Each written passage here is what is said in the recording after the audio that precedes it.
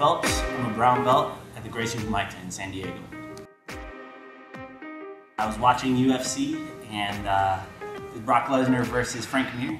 Frank Mir was getting beat up really bad, and uh, he pulled out a knee bar in the end and went to the nearest Jiu-Jitsu academy and signed up right away.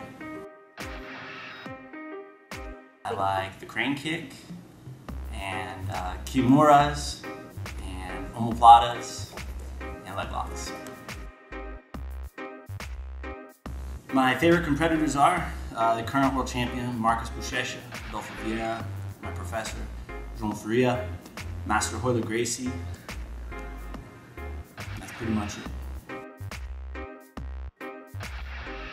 I want to compete in five grappling because I know that it's the best of the best, and uh, I want to prove that, that I have what it takes uh, to be a champion.